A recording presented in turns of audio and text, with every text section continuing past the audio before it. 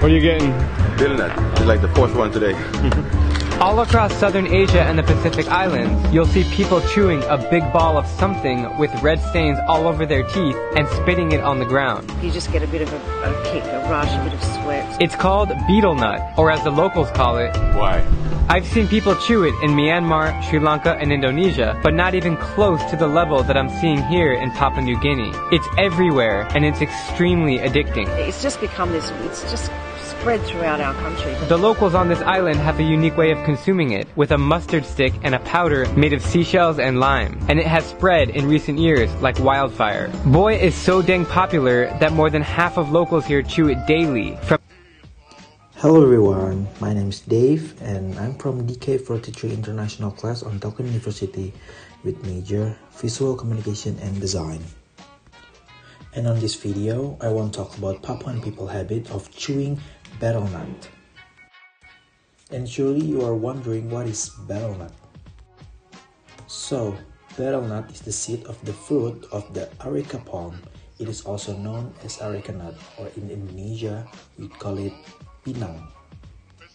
So I will discuss this activity of chewing betel nut because in my close family circle who come from Papua very often consume this fruit, especially like my aunt and even my cousin.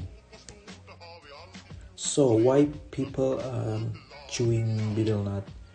Because the seed that make people who chew it is very addicted, even more than smoking and even almost uh, as same as drugs. So it's very highly addicted. So, the three recipe in this activity of the chewing areca nut are areca nut, betel nut, and also lime or lime betel that made from burnt shell. But based on the research that I saw from my family back when the holiday of December last year, they use it in a slightly different way, namely by peeling the areca nut and then chewing it first. Then, when it was smooth on their mouth, they dip the betel stick into the whiting or the chalk.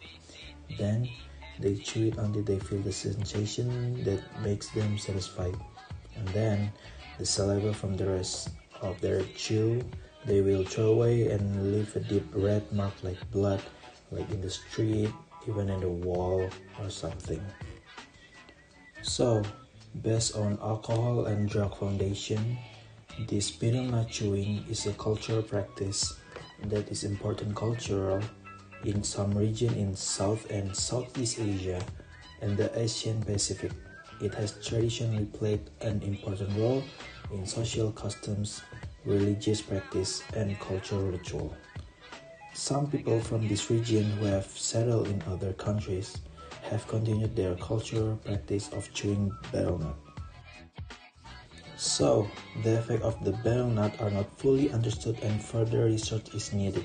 However, people who have used the drug have reported the following effect like relax, feeling happy, feeling alert, high blood pressure, red face, sweating, and fast heart rate, and many more.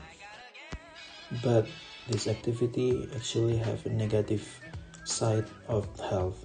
So the long-term effect uh, of this activity, regular heavy use of the betel nut may eventually cause discoloration of teeth and gum, mouth ulcer and gum disease, oral cancer, stomach ulcer, heart disease, and dependence on the betel nut. And I also have experience in chewing areca nut myself.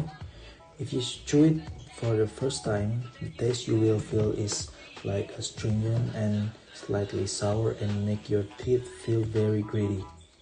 And sometimes, for some people, it will make them a little bit dizzy.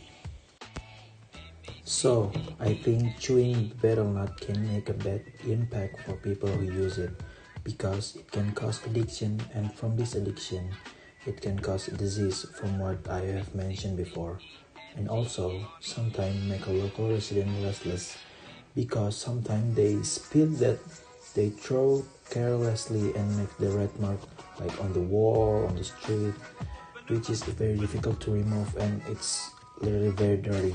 Especially in this pandemic, it's really dangerous. So, in my opinion, the tradition of chewing areca nut it's okay, but you can do it on your own portion. Thank you so much. And for a bye, and stay safe and stay healthy. Bye.